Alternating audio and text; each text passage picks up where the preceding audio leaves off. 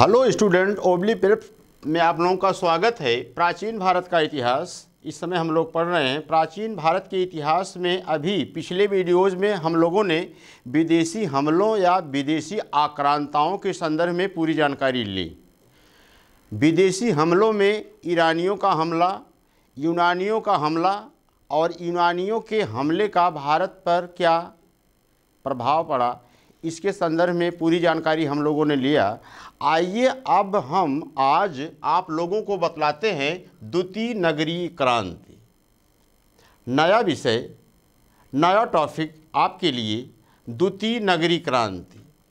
हम बहुत पहले से आप लोगों को बतला रहे हैं कि पहली नगरी क्रांति इंडस वैली या सिंधु घाटी सभ्यता के दौरान हुई थी। इंडस वैली या सिंधु घाटी की सभ्यता नगरीय सभ्यता थी। नगरीय सभ्यता से हमारा आशय है, जब तक उनके पास सरप्लस या अतिरिक्त संपत्ति या धन या उत्पादन नहीं होगा, तब तक हमारा कन्वर्जन नगरों की तरफ़ नहीं हो पाएगा। ऐसा विशेष रहा जिसकी वजह से प्रथम नगरीय क्रांति इंडस वैली या सिंधु घाटी सभ्यता के दौरान होती है, जिसे हम ब्रॉन्ज एज या कांस्युगीन सभ्यता के नाम से भी जानते हैं। यानी ब्रॉन्ज, यानी तांबा, यानी कांस कांसा, इन सब का रोल इंडस वैली या सिंधु घाटी सभ्यता में विशेष रूप से रहा। और आज हम पढ़ रहे हैं द्वितीय नगरी क्रांति। जिस तरह से प्रथम नगरी क्रांति सिंधु घाटी सभ्यता के लिए जिम्मेदार, अतिरिक्त उत्पादन या अतिरिक्त संपत्ति या सरप्लस रहा, जिसकी वजह से प्रथम नगरी क्रांति सिंधु घाटी सभ्यता के दौरान कुछ उसी तरह से द्वितीय नगरी क्रांति में भी होता है, जब तक सरप्लस या अतिरिक्त अतिरिक्त धन हमारे पास नहीं होगा, तब तक नगरों का विकास नहीं किया जा सकता, नगरों का उद्भव नगर प्रणाली की प्रक्रिया नहीं आ सकती है। आइए हम परीक्षोपयोगी दृष्टिकोण से बात करें कि द्वितीय नगरी क्रांति में भी कुछ विशेष रहा।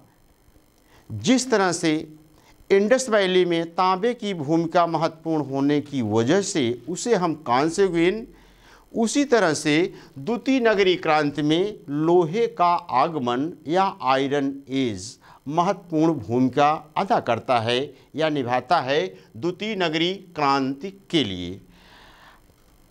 इस बात को भी हमें ध्यान में रखना है कि नगरी क्रांति कब होती है? छठी शताब्दी ईसा पूर्व में होती है। यानी उत्तर वैदिक काल के दौरान या उत्तर वैदिक काल के बाद नगरों का विकास होना प्रारंभ होता है और हम इस तरह से कुछ नगरों के नाम भी आपको बतला सकते हैं, जो कि परीक्षाओं में पूछा जाता है, आद्य नगर या प्रोटोसिटी आद्य नगर। आद्य नगर से हमारा तात्पर्य है कि नगरीकरण के पहले, यानी उत्तर वैदिक काल या छठी शताब्दी ईसा पूर्व के दौरान नगरों का उद्भव कैसे और कहाँ से, और वे स्थल हैं हस्तिनापुर और कौशाम्बी। हस्तिनापुर और कौशाम्बी को हम प्रोटो या आद्य नगर के नाम से जानते हैं। छठी शताब्दी ईसा पूर्व में गंगा घाटी में द्वितीय नगरी क्रांति स्टार्ट होती है या प्रारंभ होती है और द्वितीय नगरी क्रांति में लोहे की महत्वपूर्ण भूमिका रही। लोहे के आगमन से हमारे अंदर की कई तरह का बदलाव या कई तरह का परिवर्तन आता है। जैसे खेती या कृषि एग्रीकल्चर में एक नई क्रांति आ जाती है। हल के रूप में हम लोहे का प्रयोग करते हैं। हम सैन्य व्यवस्था में सैन्य हथियारों में लोहे का प्रयोग करते हैं।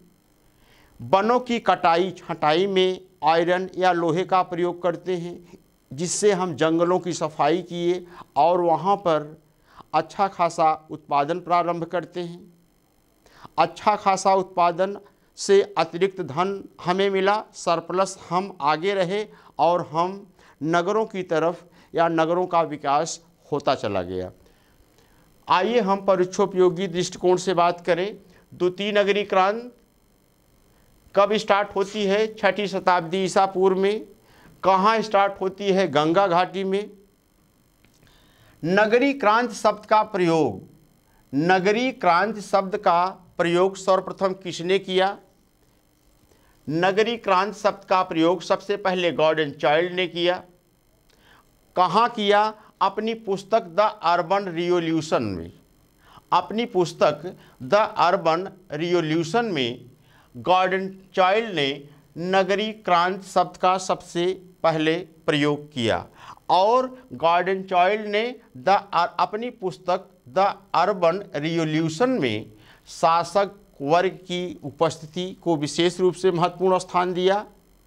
कि नगरों का विकास तभी होगा जब उसमें शासक की महत्वपूर्ण भूमिका होगी।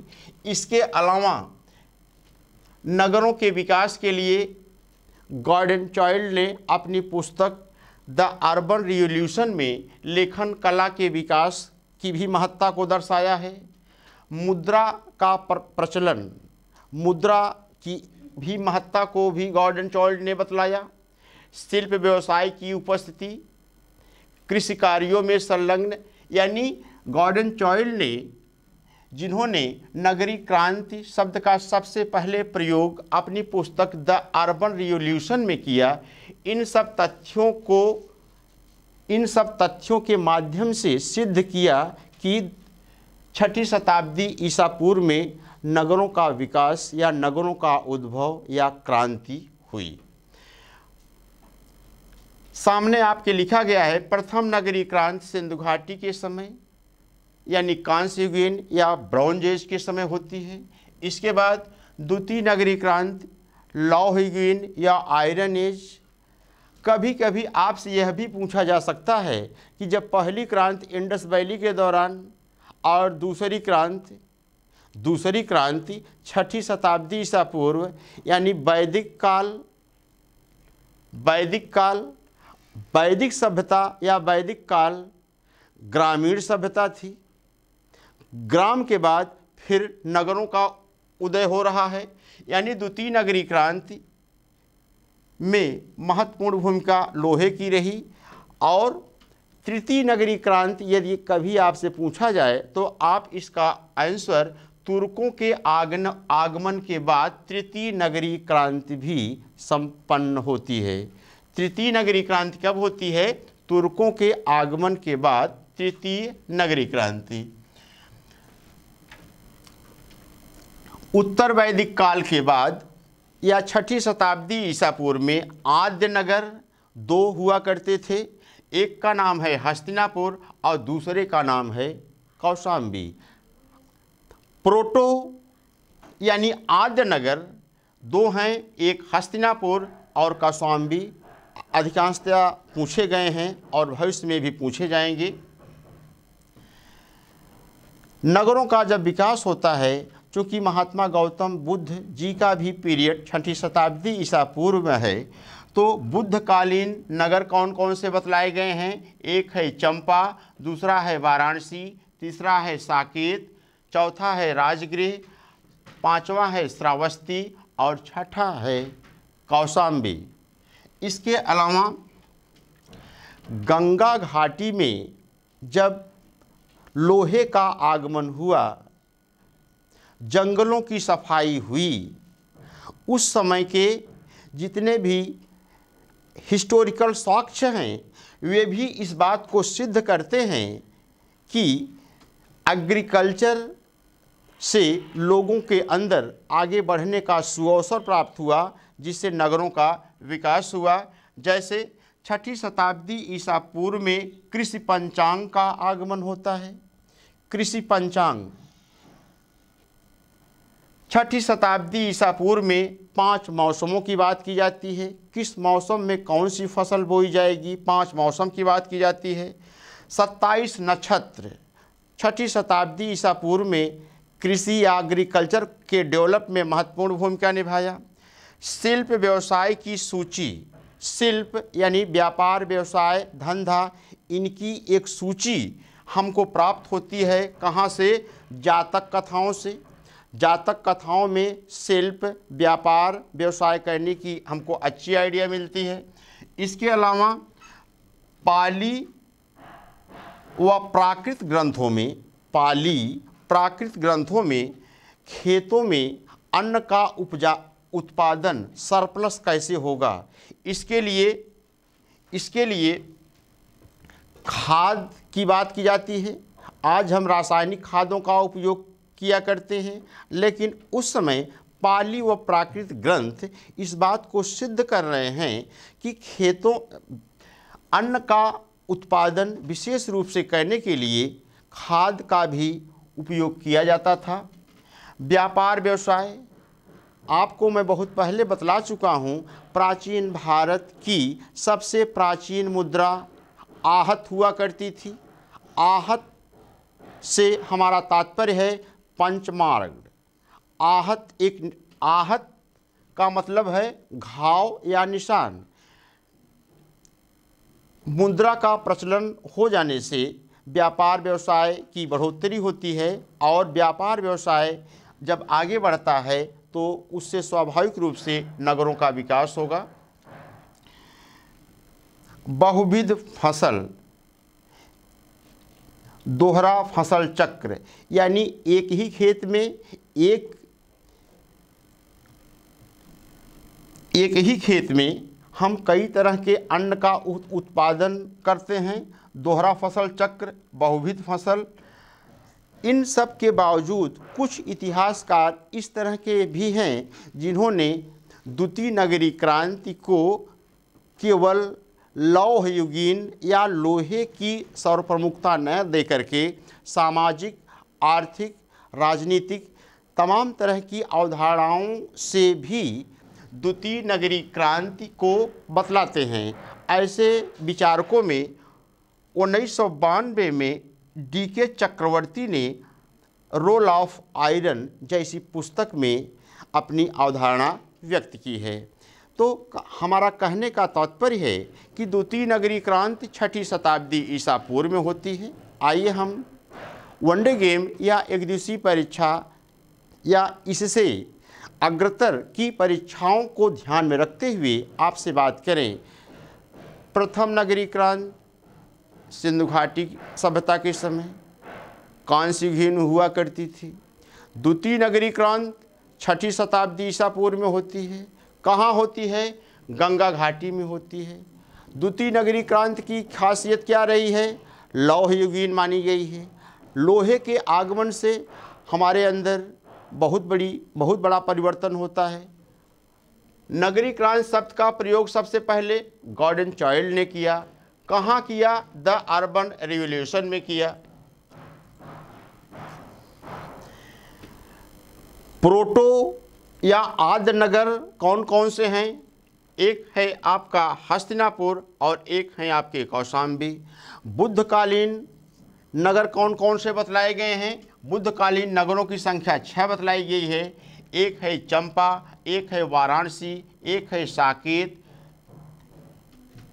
अगला है राजगृह श्रावस्ती और कौशाम्बी। गंगा घाटी में, छठी शताब्दी ईसा पूर्व में धान की रोपाई, धान की, धान के रोपाई की पद्धतियों की चर्चा की गई है। इस तरह की, इस तरह के साक्ष्य हमको गढ़वेरिया व पिपरावा से प्राप्त होता है। तो लोहे के आगमन से एक नई क्रांति विशेष करके एग्रीकल्चर या कृषि व्यवसाय में होता है, जिससे नगरों का विकास होता है और कुछ समय बाद में, कुछ समय बाद में इनमें भी घटोत्तरी होती है और मौर्योत्तर काल पहुँचते पहुँचते नगरों का हरासमेंट होता है। फिर तृतीय नगरी क्रांति हमने आपको बतलाया, तुर्कों के आगमन के बाद तृतीय नगरी क्रांति का भी आगमन होता है। तो आज हमने आपको विशेष रूप से द्वितीय नगरी क्रांति के संदर्भ में हम पुनः वनडे गेम या एक दिवसीय परीक्षाओं को ध्यान में रखते हुए हम उन सवालों के जवाब आपको दे रहे हैं जो आपकी परीक्षाओं में पूछा जा सकता है। द्वितीय नगरी क्रांति शब्द का प्रयोग सबसे पहले गॉर्डन चाइल्ड ने किया। कहाँ किया? द अर्बन रिवोल्यूशन में किया। द्वितीय नगरी क्रांति कहाँ होती है? गंगा घाटी में होती है। द्वितीय नगरी क्रांति कब होती है? छठी शताब्दी ईसा पूर्व में होती है। यदि प्रथम नगरी क्रांति कहाँ से हुई थी तो द्वितीय नगरी क्रांति को हम किस युग के रूप में जानते हैं लौहिग्विन या आयरन एज के रूप में। और तृतीय नगरी क्रांति भारत में तुर्कों के आगमन के बाद होती है। अच्छा द्वितीय नगरी क्रांति को आगे बढ़ने में सबसे अच्छा सुअवसर लोहे के आगमन, लोहे के आगमन से कृषि में एक नया बदलाव आता है और द्वितीय नगरी क्रांति के लिए अतिरिक्त उत्पादन। ये रहा आपका द्वितीय नगरी क्रांति से जुड़े हुए तमाम ढेर सारे सवालों के उत्तर और अगली वीडियोज़ में हम इसी से जुड़ी हुई कुछ और चीज़ों की चर्चा करेंगे और ठीक है धन्यवाद।